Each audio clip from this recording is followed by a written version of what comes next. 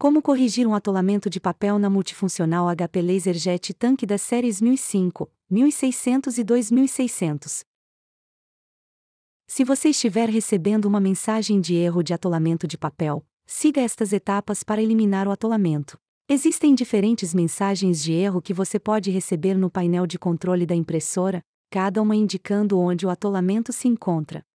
O erro 04 indica a bandeja de entrada ou a base da impressora. Os erros 05 e 42 indicam a área traseira. O erro 06 indica a bandeja de saída. O erro 41 indica o alimentador automático de documentos. Primeiro, mantenha pressionado o botão liga-desliga para desligar a impressora. Então, desconecte o cabo de alimentação e o cabo USB, se estiverem conectados.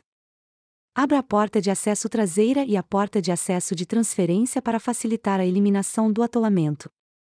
Cuidado: se houver um atolamento, não remova o papel pela área traseira da impressora. Remova todas as páginas das bandejas de entrada e saída.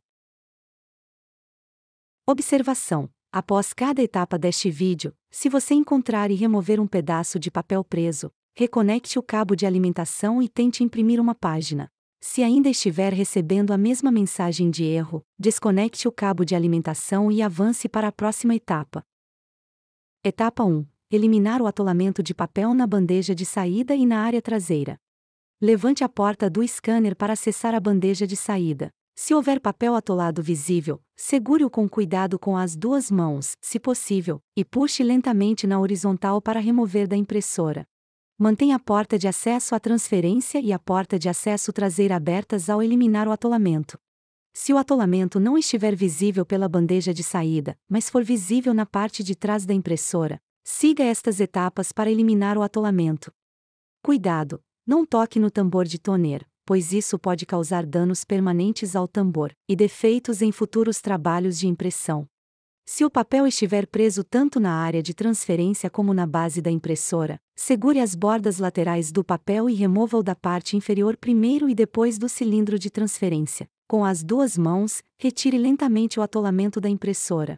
Depois que o atolamento for eliminado, feche a porta de acesso de transferência e a porta de acesso traseira. Etapa 2. Eliminar um atolamento de papel no alimentador automático de documentos. Esta etapa se aplica somente a impressoras com um alimentador automático de documentos ou ADF. Retire todo o papel solto da bandeja de entrada do alimentador de documentos e abra a tampa de acesso ao atolamento.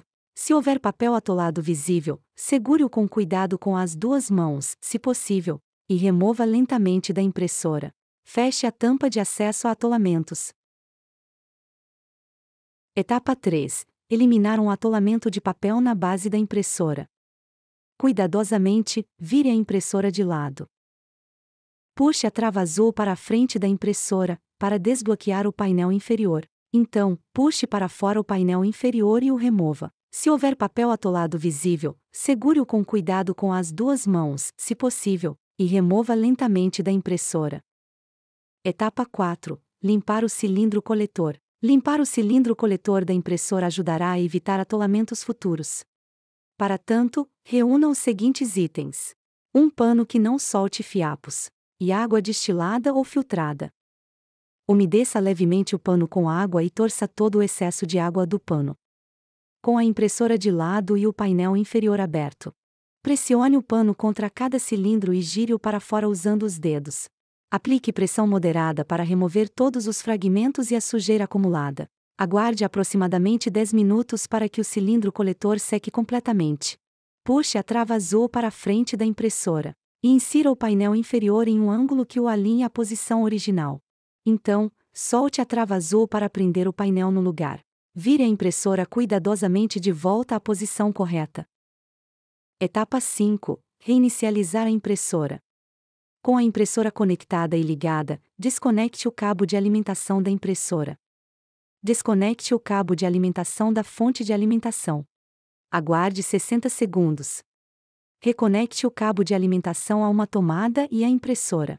Observação: a HP recomenda conectar a impressora diretamente a uma tomada. Ligue a impressora para concluir a redefinição. Se ainda estiver enfrentando o mesmo erro em sua impressora, talvez seja necessário enviá-la à assistência técnica. Entre em contato com o suporte ao cliente da HP em support.hp.com/contacte-hp para agendar um reparo ou substituição do produto. Clique na guia Playlists no YouTube para encontrar vídeos da HP em outros idiomas. E pesquise nosso canal para encontrar vídeos de suporte oficiais da HP.